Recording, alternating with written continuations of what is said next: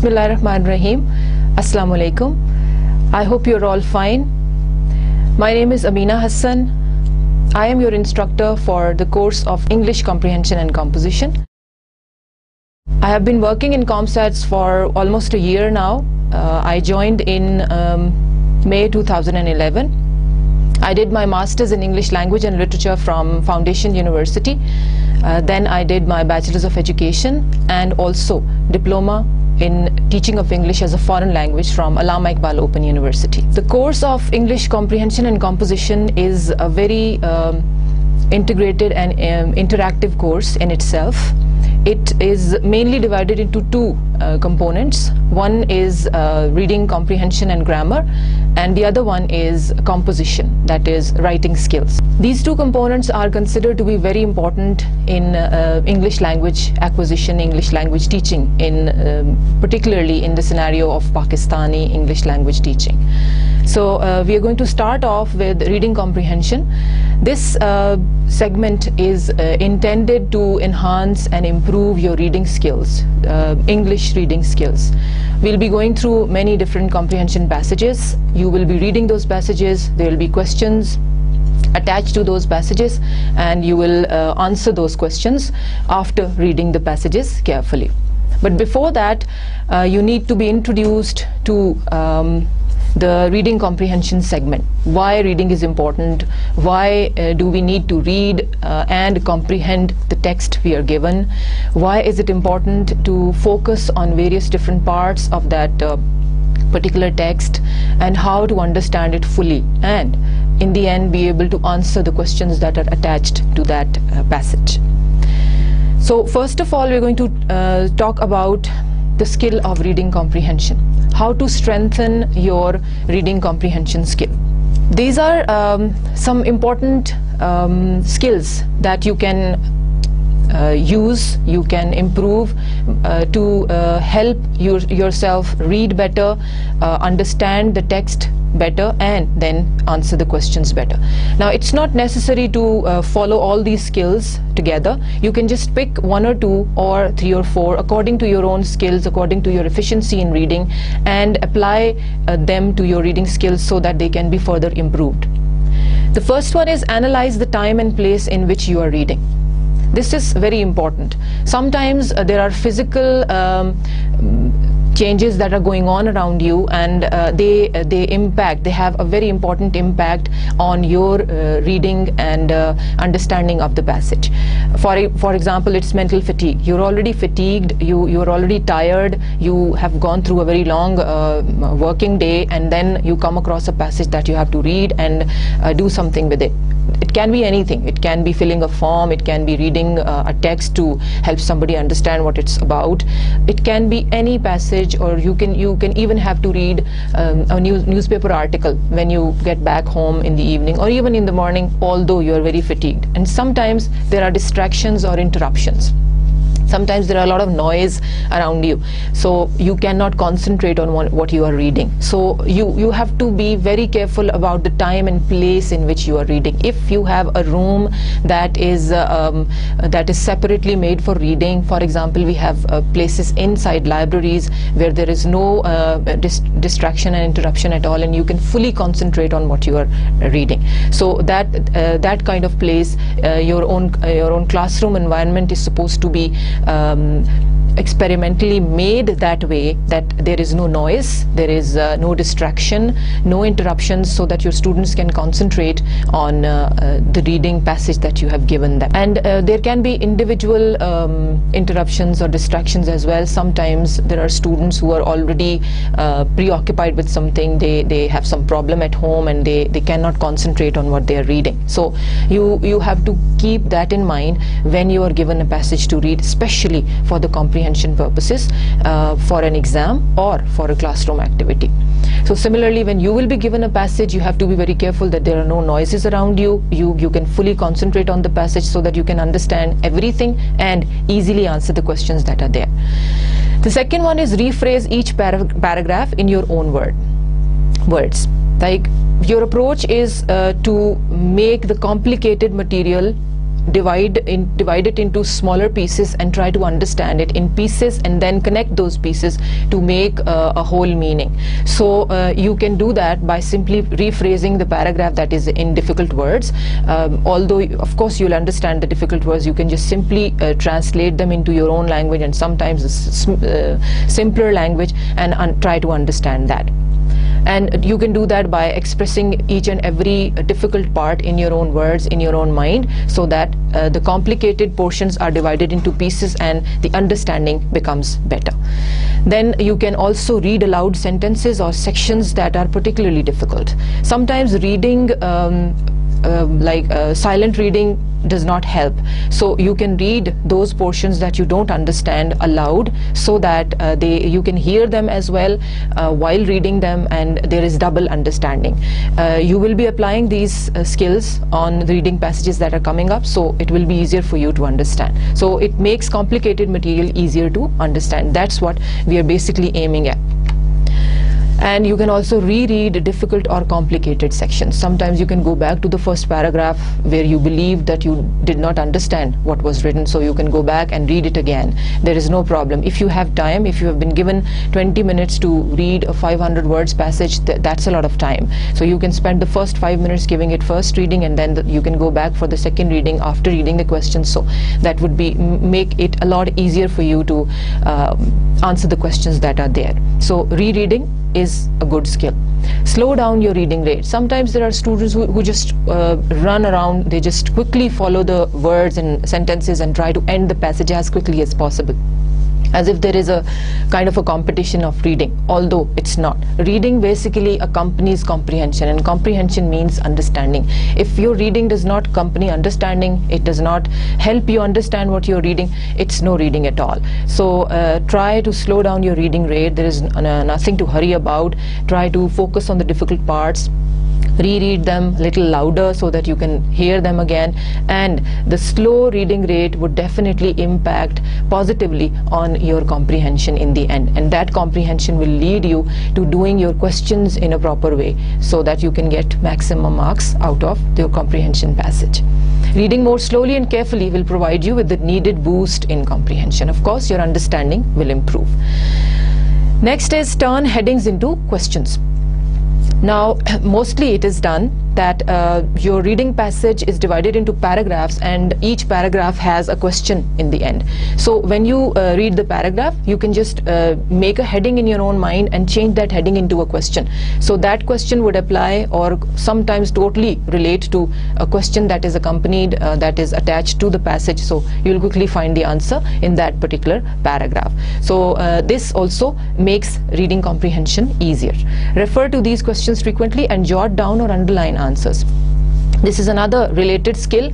When you understand that there was a question in the list of the questions and you uh, believe that you have found the answer quickly underline that answer or jot down uh, that particular information on a piece of paper or just beside the paragraph that you are uh, reading. So it would be later very easy for you to come back and um, answer that question. Next is write a brief outline of major points this also um, helps a lot uh, and mostly this particular skill is applied to very long passages. Sometimes you're given around 1500 to 2000 word passages and uh, uh, you're given of course ample time to read those and there are slightly complicated questions attached to those paragraphs. So what you can do is that you can make a brief outline of the major points that you keep coming across while reading the passage and that can be on a separate piece of paper or just uh, beside uh, in the margin along with your um, reading passage. This will help you see the overall organization and progression of ideas. And with this, you will know that in the first paragraph you read about that particular thing and when you find um, the question related to that you can come back to that paragraph and find the answer. So these are very basic skills. You have been uh, doing all this since a very long time because reading comprehension is one skill that we start off right from uh, class 1 in Pakistan. So uh, you just have to practice these skills to uh, sharpen them even more. And this again is for more complicated passages. Now um, The last set is about highlighting key ideas. After you've read a section, go back and think about and highlight what is important. If you think that a particular idea is important in that paragraph, for example, mostly paragraphs have their first sentence as the topic sentence. So underline that. You understand that by reading the topic sentence, you know or you have a very clear idea what the rest of the passage will be, uh, paragraph will be all about. So uh, you can quickly underline that, highlight that, so when you come back, you don't have to read the whole paragraph again. You just look at the highlighted key idea and you understand what the passage or paragraph was about. Write notes in the margins. This is also for uh, slightly complicated passages. Sometimes there are ideas uh, that are not related to your field. You haven't read about them before. Uh, you can quickly jot down ideas that you have from your previous knowledge or you understand and you can just write. Explain or rephrase difficult or complicated ideas or sections. You can do this to enhance your reading comprehension of slightly scientific or um, difficult passages that are not related to your field. And the last one is determine whether you lack background knowledge. Mostly it happens that you're given a passage that uh, you, you absolutely have no background of. Uh, for example, you are asked to um, write about um, or read about uh, read, read a passage about um, energy conservation methods and you have no idea what they are. Like and um, sometimes uh, you are given a passage uh, about beetles or any other scientific idea any any animal that you you have never seen in your life you haven't read about it and um, it, there are difficult uh, concepts and ideas about that scientific uh, object or thing in uh, that passage. So you have to see whether you have sufficient uh, background knowledge about it or not uh, comprehension is difficult at times and it is impossible if you lack essential information that the writer assumes you have. Now the writer when he or she wrote that um, article or passage did not know that it might come across people who would not have any background knowledge. So you need to determine how much um, of the information or background knowledge you lack regarding that passage. So um, this is about uh, strengthening your reading comprehension um, now we are going to do an activity. This is a reading uh, comprehension passage that uh, uh, you will read and there are 10 questions uh, attached to it um, and you will do those. This is the reading passage uh, after your first um, set of skills that we talked about uh, you can use any two, three, four of those skills uh, to read and understand and comprehend this particular passage. It's not a very difficult one for the starters. I have brought just uh, one uh, slightly simpler passage so that you get a very clear idea about how to apply those reading skills to this particular passage. It is um, around this length and we have uh, 10 questions with it. You will be given almost 10 minutes for this activity. Now we need to also um, look at how um, we divide the reading comprehension process. Uh, what are the stages and what is the easiest and most um, comprehensive way of approaching a passage? So the first thing is that you have to read at least a passage at least three times that will give you a very good very sound understanding of what the passage is all about. So the first reading is mostly for uh, understanding of the gist or the main idea of the passage. Sometimes there are passages that do not have headings they, that do not have topic uh, topics or titles. So it is slightly difficult for uh, the reader to understand what the passage is about. So they have to go through the passage um, first and then they understand um, the main idea of the passage so the first reading aims at understanding the main idea of the passage. For the second reading, you go over to the questions, you read the questions one by one very carefully and then come back for the second reading. First stage is I repeat, first stage is uh, reading the passage for main idea. You, you have to read it slightly quickly, but um, you have to keep in mind the time that you have been given to read and understand that passage. Now, um, second step is you go over to the questions, you read the questions, then come back for the second reading. And that is where you have to hold a pen or pencil in your hand and you have to keep underlining the main points that are related to the questions. Read the second, uh, the passage second time and see the questions, uh, keep the questions in mind and find, try to find the answers or if you find one, you just underline that. For the third reading, you have to be very careful. You, that is the most careful uh, stage of reading. That is where you underline and determine which answer which part of the passage answers which question. You have to mark that one two three four whatever the question number is and then start writing or noting down the answers of your questions. So uh, this is the stage. Uh, these are the stages of uh, reading comprehension reading uh, stages uh, process and uh, now we will be going through this passage uh, you will read it on your own, but we'll do the questions. The passage is titled Blizzard in Birmingham. This passage is basically about some very drastic weather changes in Birmingham, uh, that is in America.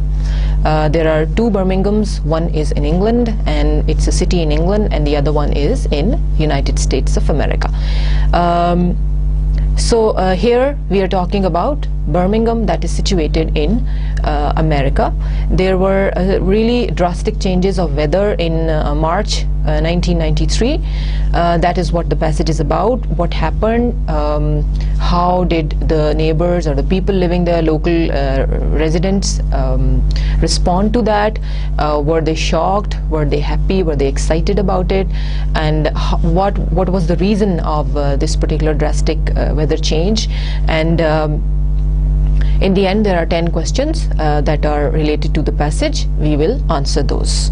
You will give uh, your passage a reading uh, according to the reading stages that I gave you first reading is to understand the main idea then you go over to the questions then come back for the second reading and try to underline the answers of the questions. And then the third reading is the decisive stage. It's the final stage where you underline all the questions uh, answers of the questions and then start uh, composing or writing them down for your exam or your activity.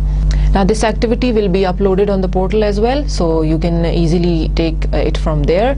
Uh, we will be doing it in the class um, I will be telling you the answers of the questions.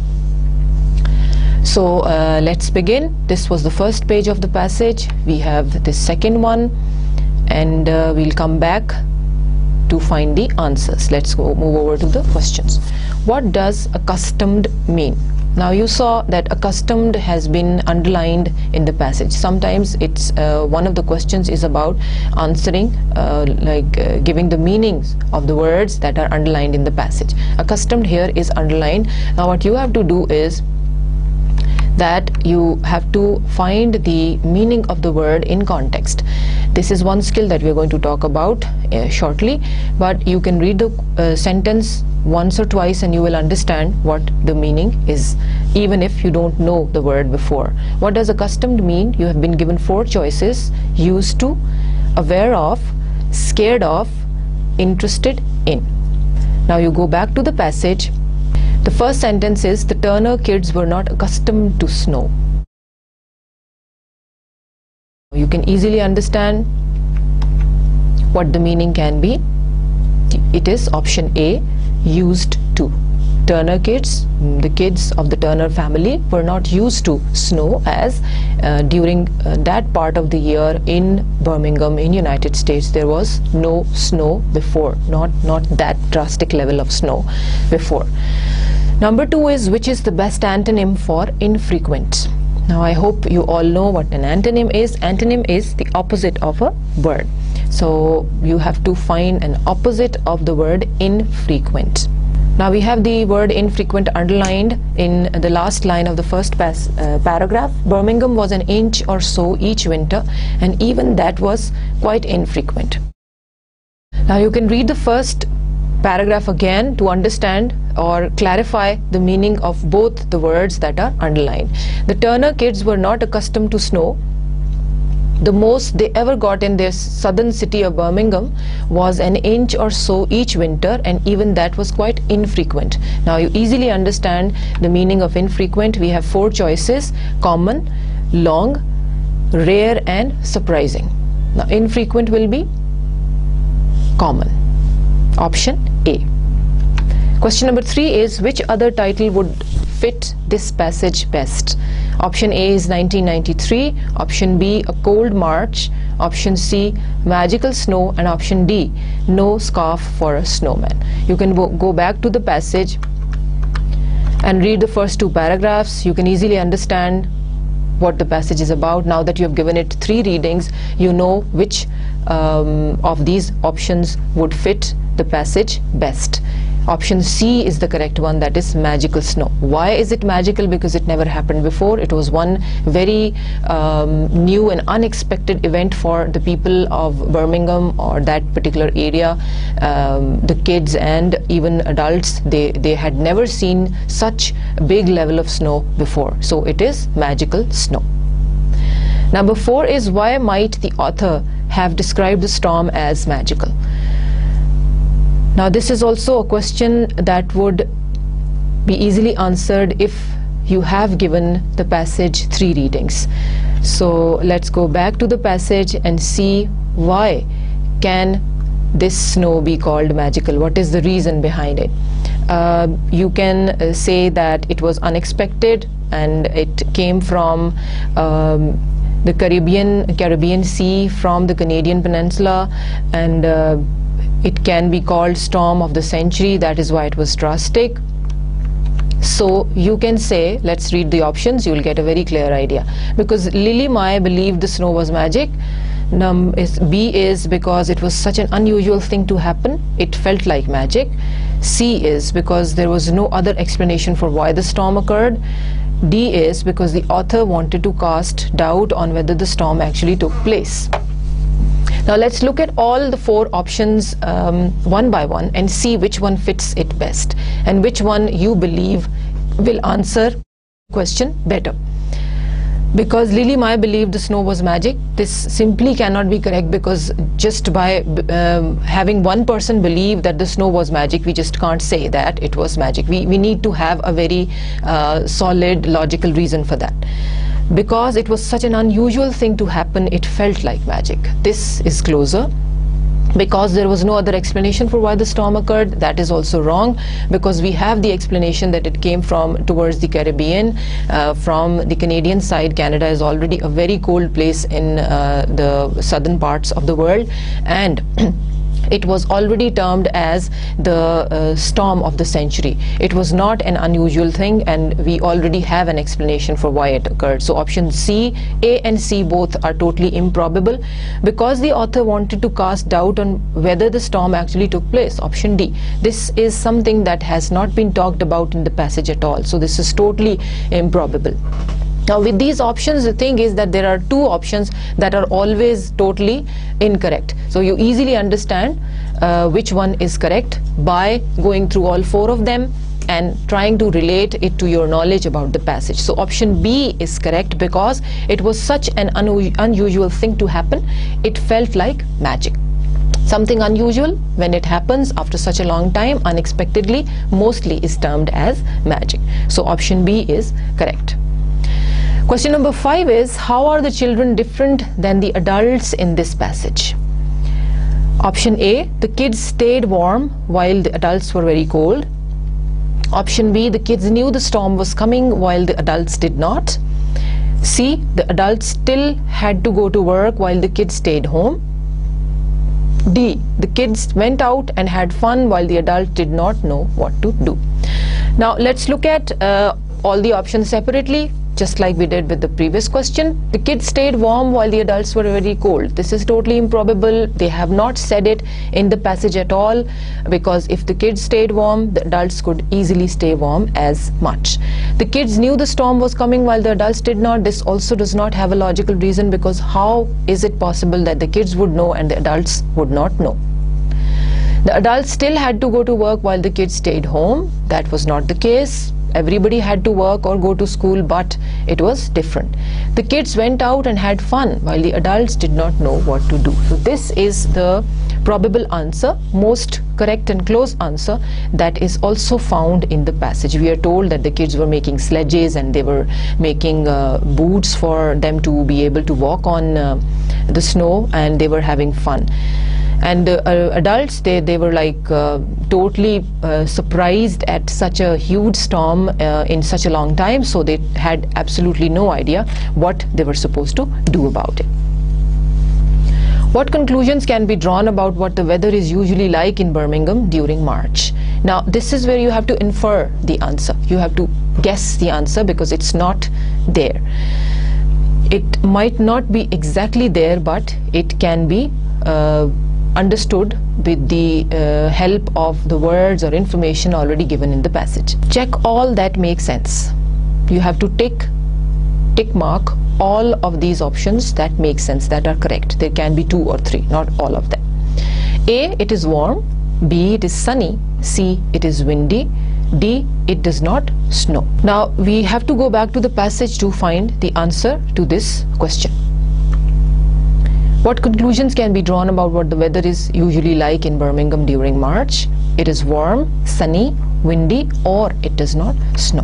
Now, the passage tells us that the weather in Birmingham usually during March was sunny and windy. And you can also say that it does not snow. But option D cannot be correct because it snowed in those uh, areas before but it was not as uh, huge as it was in 1993 so option B and C are correct. It was sunny but it was windy as well. It was cold uh, the temperatures were 70 degrees but it uh, snowed and it was slightly colder not like this. So option B and C are correct Question number seven is what can be said about the Turner kids' ideas for playing in the snow without the unusual snow gear? Now this questions require this question requires your response about what do you feel about uh, the Turner kids' ideas about how to enjoy the snow. There are four options and you have to uh, check all that makes sense. Any two can be correct. More than one can be correct. They were creative they were complicated they were effective they were misguided. Now two of these options are correct. We go back to the passage and find the answer to this question now in the second last paragraph we find how the kids uh, enjoyed it while the adults seemed um, paralyzed with disbelief, the Turner kids set about having the time of their lives. Lily Mai discovered that a rope tied to a metal trash can laid made a perfect sled. Now this was uh, not exactly um, a real sled, but she made a sled or created a sled by tying a rope to a metal trash can lid and that would slip on the snow and they'll sit on it and have fun. Johnny Henry, John Henry figured out that if he put his feet in plastic grocery bags before putting on his rain boots, his feet stayed warm for a longer time. Rachel made snow angels in every part of the yard. Together, all the kids made a huge snowman and dressed it in dad's hat and jacket. Mr. Turner didn't own a scarf. Now, uh, we get two or three different ideas uh, by how kids um, had fun. Now, let's go back and see the options, whether they fit to those ideas or not. A, they were creative. B, they were complicated. C, they were effective. And D, they were misguided. Uh, option D, they were misguided, is totally wrong because the kids really had fun. They made uh, those uh, different, uh, um, changed those ideas into creations and they had fun. And option B is also totally improbable. They were complicated, they were not. They're very simple. Tying a rope to a trash can and changing it into a sled is not difficult. Option A and C seem quite right and probable. They were creative. The ideas were very creative. Nobody would think of tying a rope to a sled and uh, sitting on it to have fun on snow. And similarly, they were also effective. It's not that creativity uh, mostly sometimes turns into disaster, but here it did not happen. The kids uh, really had fun. They made snowmen, they made a sled, and their creativity uh, turned out to be effective. So option A and C in this question are correct. Moving on to question number 8, this question will be uh, judging your punctuation uh, understanding. You have to choose any one of these options to uh, say that these two sentences can be combined in one or the other way. Let's read the two sentences and see which one of the options best combines those. What was funny was that even the slightest bit of snow was enough to cancel school and close businesses and you have to connect this sentence with the other one. No one knew how to drive in the stuff. Let's see option A, B, C, D, which one is the better connection. Option A is what was funny was that even the slightest bit of snow was enough to cancel school and close businesses, comma, no one knew how to drive in the stuff. Now, uh, combining the two sentences, they have skipped the full stop and put three different uh, four different punctuation marks. You have to choose any one of those which you believe would be connecting the sentence in the best possible way. The first one is combined with a comma. The second option B is combined with a semicolon. Option C with a colon and option D with a dash. Now let's read uh, all four of those and see how it sounds and which one do you think is correct. What was funny was that even the slightest bit of snow was enough to cancel school and close businesses semicolon no one knew how to drive in the stuff. Similarly when you read the other two you understand the uh, number uh, the, the the amount of pause that you have to give between both of them. And option B is correct in this one because semicolon is the best way to connect these two sentences. Comma is a slightly longer pause which does not suit here. Colon is used to start off headings after the uh, sentence that you have used colon with and dashes are to start off a new thought that is slightly connected with the previous one. These uh, things do, do, not suit uh, the two uh, sentences that we have to connect apart from option B. So option B will be correct because it is connecting the two sentences with, with the help of a semicolon. Moving on to our second last question. What was going on outside of Birmingham during this passage? This sentence, uh, this question also um, has a very clear answer in the passage. Now that you have read the passage three times, it will be very easy for you to choose the correct option. A is the reader does not find out. B, there was no snow anywhere else. C, a storm of historic proportions took place. And D, the entire country was dealing with snow.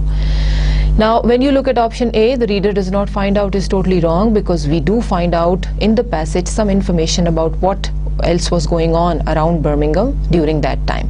So option A is not correct. There was no snow anywhere else. This is also incorrect because there was a lot of snow. And the storm of historic proportions took place. This sounds quite close. Let's read the op option D and then find out which one's the correct answer. The entire country was dealing with snow. It was not the entire country. There was just southern parts of United States that were dealing with snow. So option D also is improbable. Option C is correct. A storm of historical proportions took place. Now, when you go back to the passage, you find that they have called the storm storm of the century. Of course, this was something really drastic. This had never happened before. So that is why they say that the storm of historic proportions took place. And the answer to question number nine is option C. Moving on to our last question, what is the best antonym for splendid? Now again, antonym is the opposite of the word that you've been given to find out uh, the answer for. So the, uh, the opposite of splendid would be option A is great, B perfect, C happy, D terrible. Splendid is something great, something something good, something perfect so option A and B are totally improbable. It cannot be happy when you're looking for an antonym. It can be terrible of course. Terrible is the opposite of splendid.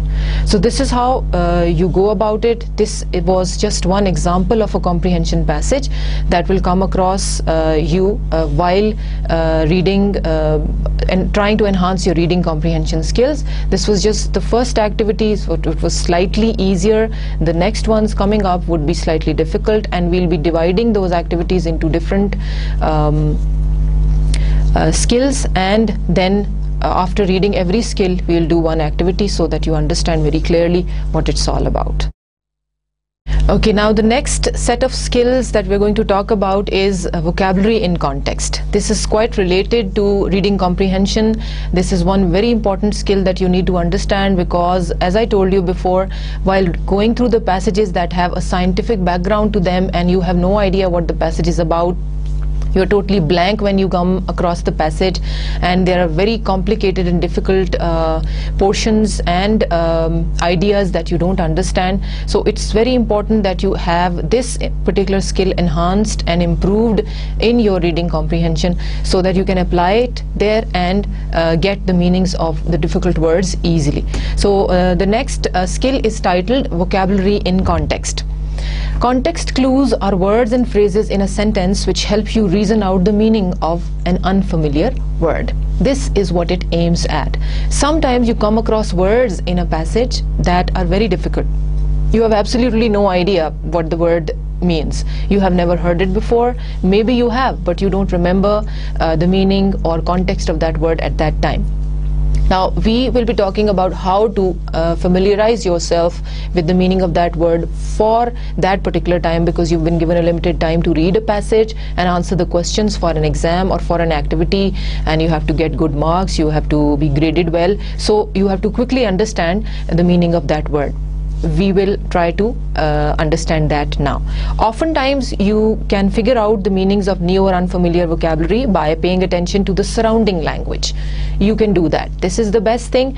Uh, what you do is that you read um, the sentence or the paragraph again and again, at least once, twice or thrice with the help of the surrounding language uh, or the words or phrases um, beside that particular word that is difficult, that is unfamiliar, that will help you understand understand the meaning of that word. We'll do this activity after this um, skill and you'll understand how you do it.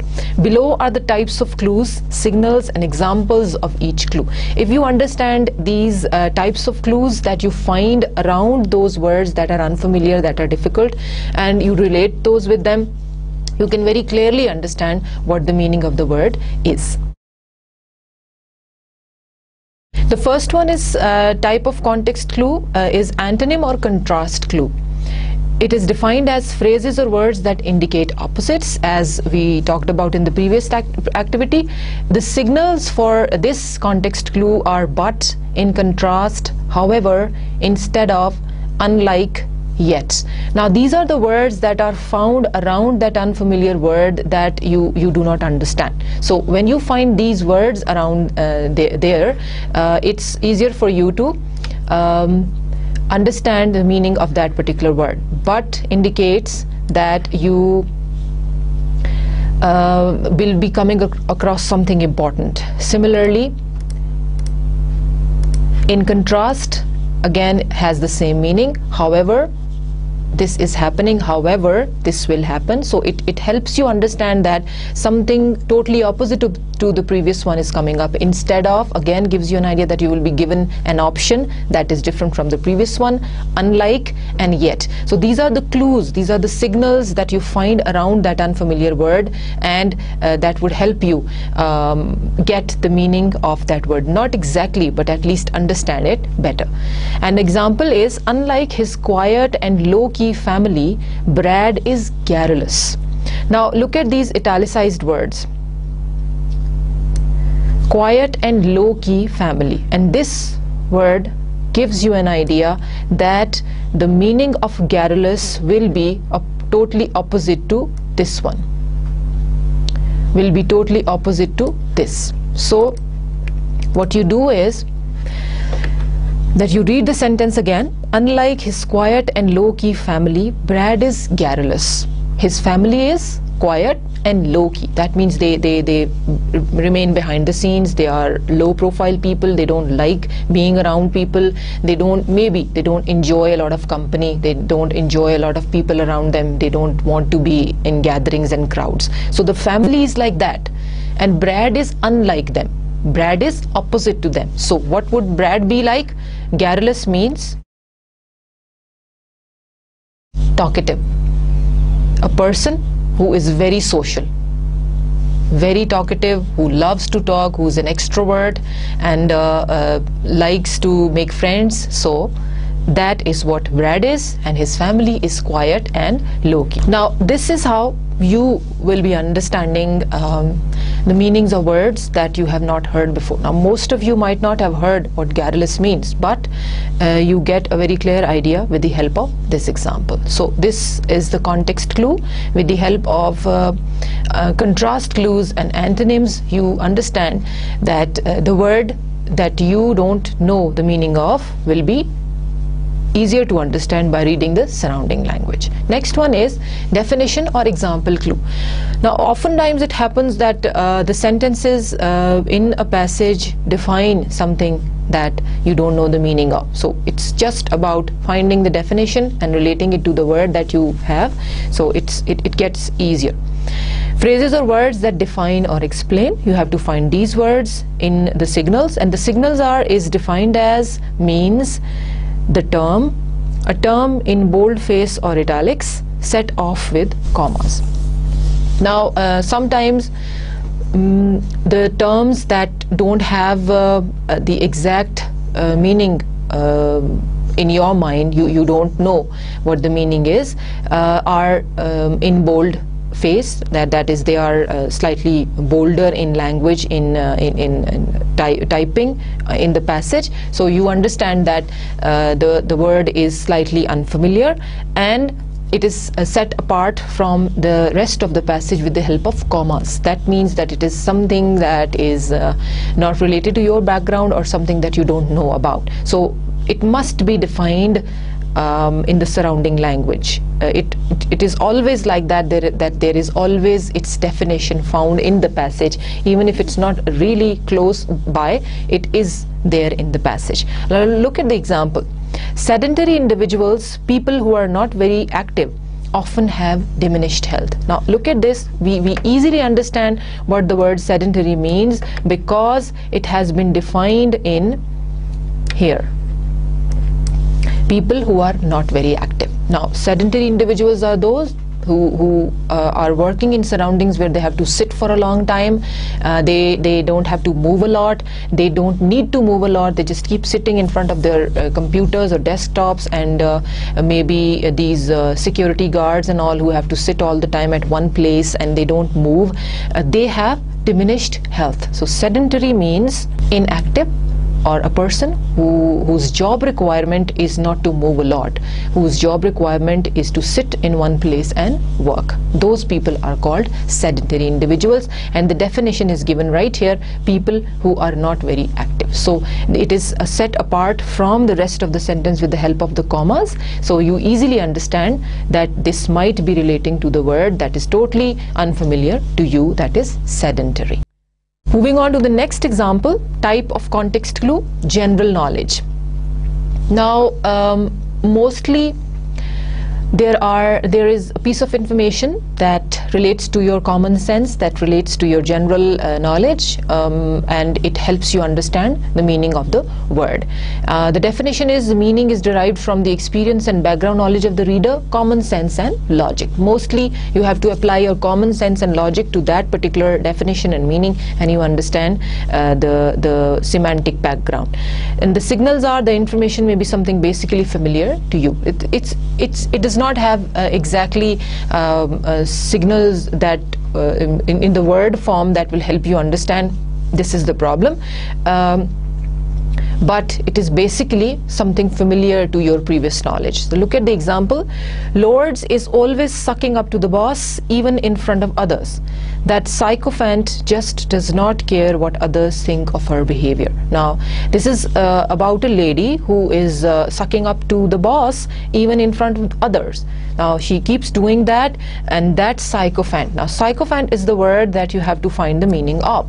Now sucking up to the boss will help you understand the meaning and sucking up to the boss is um, a phrasal verb uh, that might not be in your previous knowledge that you might not have heard uh, and it is also possible that you might have heard about it in a movie or in while reading a book or anything or you you might might have heard somebody talking about it using it in their daily language. So here uh, sycophant means something uh, negative that people don't like uh, because she keeps doing that in front of others and uh, she does not care what people think about her and she's doing that to her boss. And uh, this usually happens in our scenarios as well. So sucking up to the boss means um, going for excessive praise of that person. So uh, sycophant would be a flatterer who, who uh, praises somebody unnecessarily to get benefit out of them. So sycophant would be a flatterer, somebody who flatters the other person and Lourdes is a lady who flatters her boss so much that um, uh, it's her habit and she does not care what people think about her. Now the next clue is restatement or synonym clue. Now previously we talked about the contrast clues that were the opposites.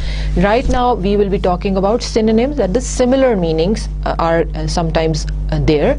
Uh, you are asked to um, understand the meaning of an unfamiliar word and it has uh, a similar rela related word in that sentence and you easily find that and it helps you understand the meaning of that unfamiliar word. Another word or phrase with the same or a similar meaning is used in the same sentence where the unfamiliar word is placed so that you can relate both of them and understand what the unfamiliar word means. In other words, the signals are, in other words, that is also known as, sometimes called, or right you you use these signals if you find these signals in your sentences it is easier for you to understand that the unfamiliar word must have a familiar word in the same sentence in the same line. You just have to find it. Look at the example. The dromedary commonly called a camel stores fat in its humps. It's as easy as possible. Dromedary is the italicized word that you need to understand the meaning of and set apart in the middle of the commas commonly called a camel.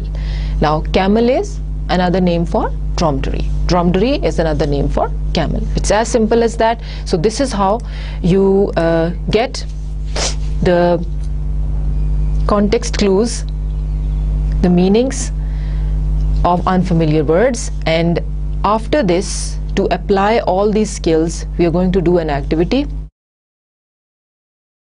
here we are with an exercise for guessing vocabulary in context. We just talked about uh, some important context clues that will be used in this exercise. There are 10 options. You have to read each sentence and there will be a word that you have to find the meaning of um, with absolutely no background knowledge about it from the options given under that question.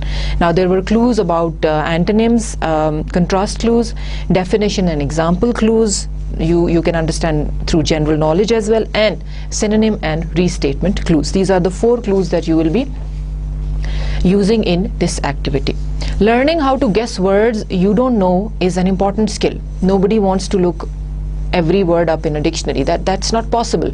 You you have a 2000 words passage in front of you and you also have a dictionary but you just can't open up the dictionary for every word you don't understand. You have to use context clues to quickly go through the passage because there is very limited time given to you to read the passage and answer the questions. So uh, you just cannot go over to the dictionary all the time. If you learn how to guess the unfamiliar words in sentences then you won't have to read with your dictionary open all the time so um, that is why we are doing this exercise so that it helps you out with uh, understanding the meanings of words without using a dictionary. This is an example of how you have to do the activity, how to guess words in context. This is one example. Example sentence is the snake slithered through the grass. He was hunting. Now the underlined word is slithered and you have to find out the meaning of this word. Let's see how many options we have and they have given you the correct option and the explanation as well. So uh, this will help you understand how you have to go about the activity that is coming up. You must discover what slithered means by using logic. Here are your choices and the analysis. Option A is stopped moving. Option B is slept in the grass. Option C ate something. And option D is moved or traveled now you have to see which of these options closely relates to slithered. Stopped moving is incorrect. The sentence above says through the grass. through means there is some movement. So you simply can't say that the snake stopped moving. Slithered cannot have stopped moving as its meaning. So option A is wrong, right? B slept in the grass. Incorrect. The sentence above says he's hunting and nobody can uh, hunt while they are sleeping in the grass, right? So this one is also wrong. Option C is ate something. We are not talking about eating. The sentence above says he's hunting. Snakes don't eat when they are hunting. They eat after they hunt, right? So this is logical. This one also is wrong. Option D, moved or traveled. Now read the sentence again. The snake slithered through the grass. Now when you read through the grass, it helps us understand that there is some movement, right? So your option D is correct. The sentence above says through the grass, through means that there is movement. So this is how you have to use your context clues. Let's move on to the activity. Number one, read the sentences and choose the answer. Number one is the tiger's roar could be heard in villages far away. What does roar probably mean? This is quite simple. Option A, food a tiger eats. Option B, a tiger's dream. Option C, a tiger's ear. Option D, a sound a tiger makes. So obviously option D is correct. This was your previous knowledge. Here you use the context clue of your previous knowledge, of your gen general common sense. Everybody knows tigers and lions and these bigger animals, hunting animals, roar all the time in the jungles and forests. So it was quite simple for you to understand what the correct option was. Next one, number two, the thought of eating a rat is abhorrent to most people. What does abhorrent probably mean? Let's quickly move on to the options and then find out the meaning of abhorrent. Fun, lively, horrible, repugnant, delicious, tasty, sweet, sugary. The thought of eating a rat is abhorrent to most people. This is very, very clear that you simply cannot think of eating a rat, and that is horrible and repugnant. As simple as that, because you you just can't say that. Uh, thought of eating a rat was fun and lively, delicious and tasty. It just can't be that. Okay, moving on to option number three. My absent-minded teacher loses his keys, his book and his chalk almost every day. Now here again absent-minded is not a very difficult word to find out the meaning of. Be hateful, not pay attention, be intelligent, not like someone. Not pay attention is correct.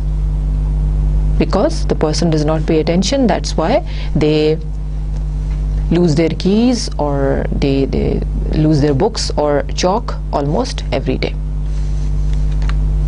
Option 4 is you can trust the salesman uh, at that store because they always conduct business in an above board manner. Now this can be a word that you might not have heard before. What does above board probably mean? Option A, honestly, openly. Option B, sneaky, dishonest. Option C, horrible, repugnant. Option D, strange, unusual. Now let's quickly read the sentence again. You can trust the salesman at that store because they always conduct business in an above board manner. Now the word trust helps you understand that this word must be related to something with trust right so um, you can say that the salesmen are maybe honest uh, so you can trust them easily and because they uh, and they conduct their business in an above board manner. So honesty would be relating to the word above board and your option a would be correct. Honestly openly. Number 5 is petra has so many friends because she's a gregarious person. What does gregarious probably mean now Petra has so many friends because she is a gregarious person.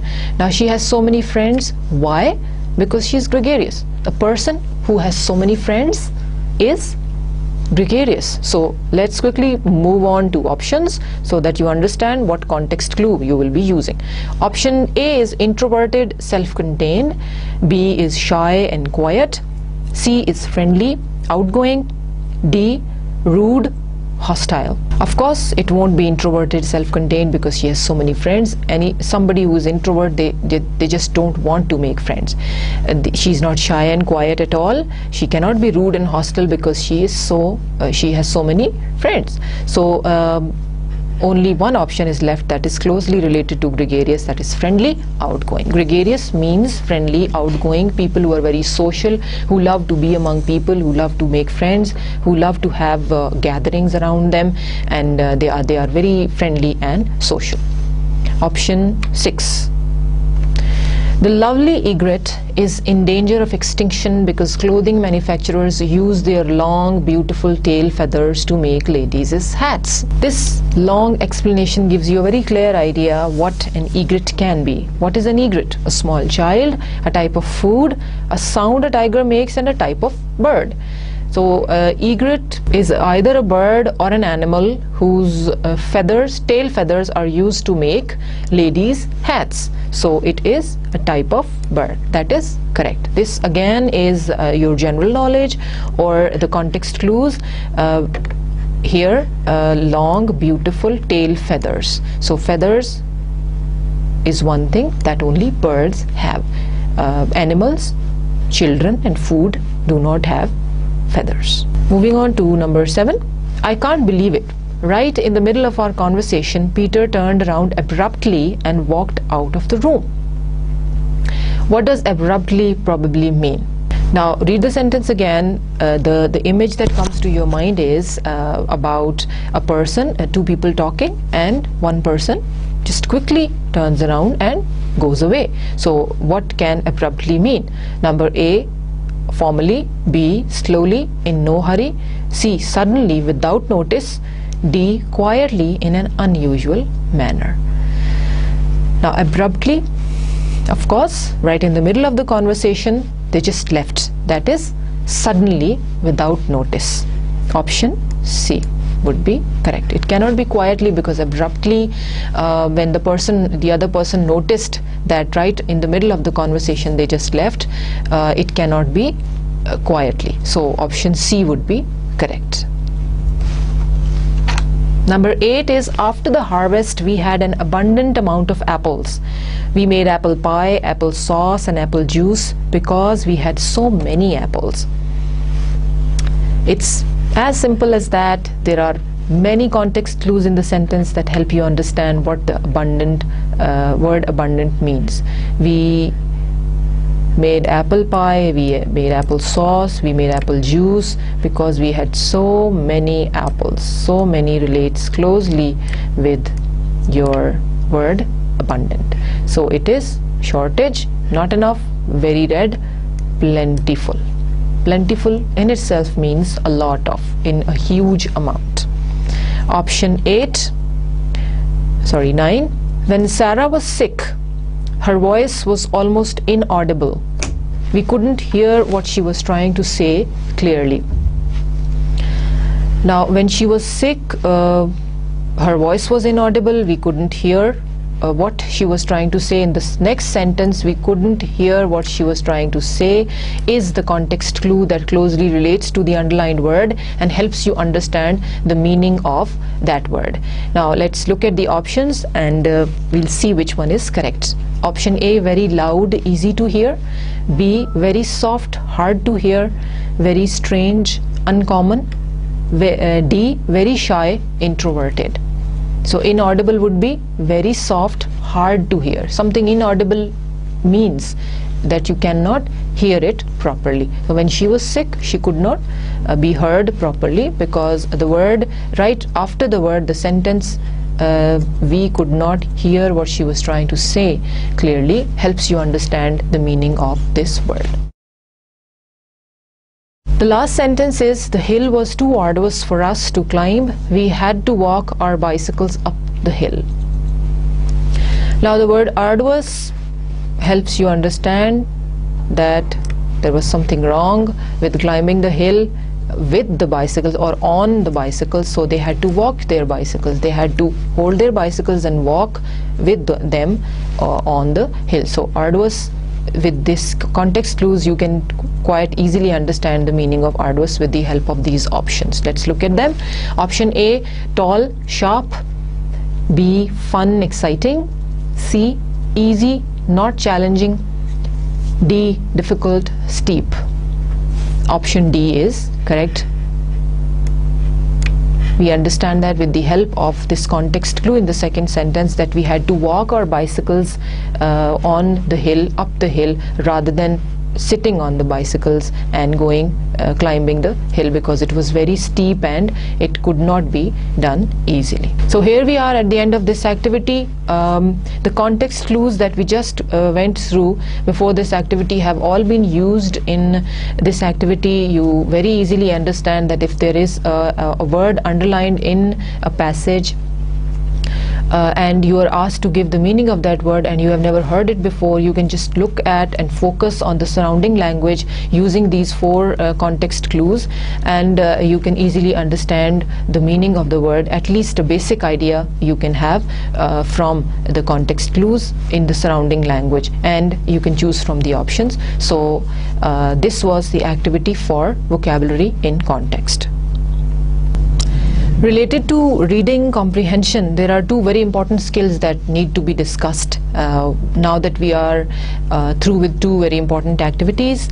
Uh, there are two very important reading skills that you come across very often while doing a common day-to-day reading. When you're reading a newspaper, you're reading a travel brochure, you are reading um, um, uh, instruction manual for uh, how to fill fill up a form for a visa or for admission to a university or anything uh, you are using these skills unconsciously uh, so that's uh, uh, where you use them but we here we are going to talk about them theoretically these are two skills closely related to each other and have a very minor difference that you need to understand. While using these skills you know very clearly what they are but when we are talking about them theoretically uh, it's uh, the difference is very clear. Let's talk about that. There are two reading skills. The first one is skimming Skimming is used to quickly gather the most important information or gist. Gist means main idea. You just have to uh, read the passage once or twice and understand what the passage is about. For example, the passage is about environmental pollution and there is no title. You read the passage, first paragraph gives you the definition, what is it, second one tells you about the types, third one reasons. And last one uh, tells you how to eradicate. So you easily understand the passages about environmental pollution how we are polluting our environment and what effects it has. So that is called skimming. And this is where you have to read the passage quickly. You don't have to um, uh, focus on each and every word. You don't have to focus on the difficult words. You don't have to try to answer the questions at this stage. Skimming is a skill uh, where you are asked to just gather the gist of the passage that you are given. There is one question, what do you think is the main idea of the passage? That's where you have to use the skill of skimming. It is uh, to gather the most important information or gist or main idea. Run your eyes over the text, noting important information. Run your eyes over the text. That is important. You don't have to focus on each and every word because uh, that will take a lot of time and you won't have a lot of time to answer that one question. Use skimming to quickly get up to speed on a current business situation. You you have a long article of about 5,000 words and uh, it is about uh, current business situation. You just go through it quickly, uh, reading the important lines, first and last lines of the each paragraph, and you quickly understand uh, the important or current business situation. And there is no need to read the whole article and waste your time. It's not essential to understand each word when skimming. This is the difference. When you move over to the second skill, we'll compare both of them and see what is the difference between both of them. Examples of skimming are the newspaper, quickly to get general news of the day. You just don't read newspaper, uh, a newspaper from word number one to the last word. You, you simply cannot do that. Uh, most, some people do that as well, but they have a lot of time. When you don't have time, you're sitting on the breakfast table, you're holding the cup of tea in your hand, you quickly go through um, the whole newspaper to look at the headlines and uh, understand what's going on today. What has happened yesterday what is going to happen today whatever. So um, that is where you, you are practically using the skill of skimming and that you have done in your daily life um, most of the times. Magazines, quickly to discover which articles you would like to read in more detail. You go over to the contents part in the beginning and you quickly go through um, uh, the contents on which page what has been given what is new what uh, what would you like to read? So you pick and choose and open that page and read that particular article that is called skimming through a magazine.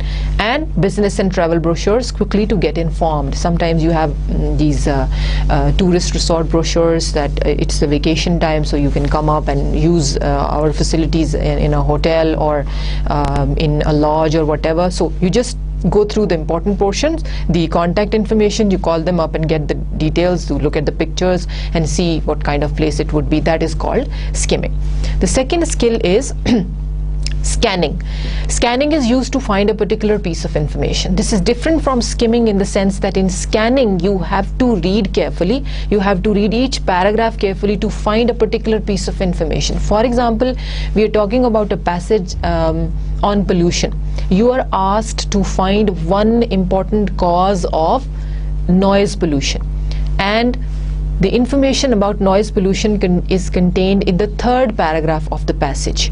So you go over to that paragraph, you read that paragraph, you find that piece of information, underline it and write it in the answer. This is called scanning. Skimming is different, scanning is different. Run your eyes over the text looking for the specific piece of information you need. This is when you have read the questions. When you know what the question requires, you go back to the passage and read it. Use scanning on schedules meeting plans etc now um, you you have a schedule or agenda of uh, your uh, daily plan in your department in your office. You go through that and see uh, which meeting you have to attend. So uh, you look uh, for that particular meeting its time and venue and who is uh, heading the meeting and the other details. So that is called scanning. That is the particular piece of information that is required by you that you need at that particular time in order to find the specific details you require. If you see words or phrases that you don't understand, don't worry when scanning. Here you just need the specific information. You don't have to worry about the words that you don't know about. Examples of scanning the what's on TV section of your newspaper. You quickly move over to that page where there is what's on TV section. You find the your favorite channel and want to see which movie is coming uh, at what time. You quickly look at that time jot it down with you and uh, you uh, realize you you know that at 9 o'clock tonight you are going to watch that movie. So that is the piece of information that you required.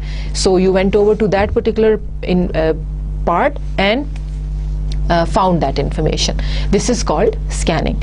The train airplane schedule, of course, when you go over to an airport and there is uh, that um, um, notice board that shows you um, uh, when a certain flight is uh, arriving and when certain are leaving. So you just look at the flight that you need. You you have come up uh, come uh, to uh, take a flight to um, Lahore or Karachi. So you'll just look at that. If it is delayed you'll uh, know from that notice board. And if it if it is on time you will know the same as well. So this is where you are again using the skill of scanning to find out your flight schedule not the rest. You don't have anything to, to do with the rest of the schedules. You just need the information regarding your own flight because you don't want to miss it, definitely.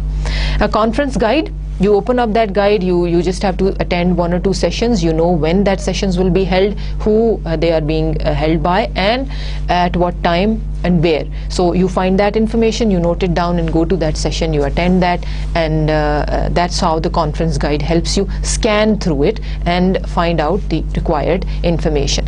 Now let's quickly revise the difference between uh, skimming and scanning Skimming, as I told you before, is used to quickly gather the most important information of the whole passage. You, you can, if somebody asks you what the passage is about, you can quickly answer that question. After skimming through it just for once or twice, you get the main idea and that's it. But scanning is to find a particular piece of information. Now these are the two skills that we are going to um, use in our coming uh, exercises and uh, Uh, we'll do more activities. Um, there will be some uh, that will be more complicated, and all these skills that we talked about today, along with some others that we will be discussing in the coming lectures, uh, will be applied to those activities. So. Um, I hope uh, you um, have totally understood today's lecture. Uh, if there is any query, any problem, you can always contact us. Um, all the activities will be uploaded to the portal. You can download them from there and do those. And if there is any question, you can ask us. Thank you very much. Uh, we'll see you in lecture number two. Thank you.